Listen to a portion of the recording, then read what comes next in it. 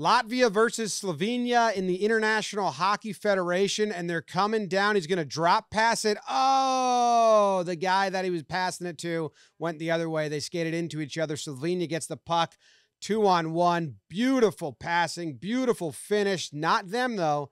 They collided, they messed up. It led to a goal. They end up winning the game.